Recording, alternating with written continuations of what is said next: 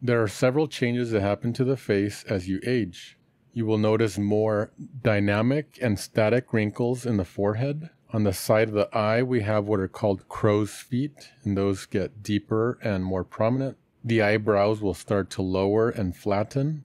The eyelids will start to droop more on the side as the skin starts to sag down. There may be more prominent fat pads under the eye. The top of the nose may have more of a bump because as the skin thins and the tissue thins, the bone on the top of the nose may become more prominent. The upper lip will start to lengthen.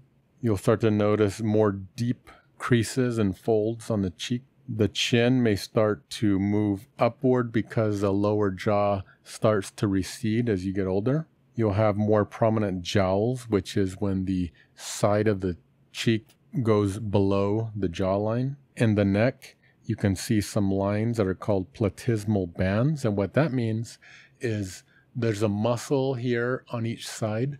As we get older, the muscles start to separate, and you'll start to notice these lines that look like number 11s on the side.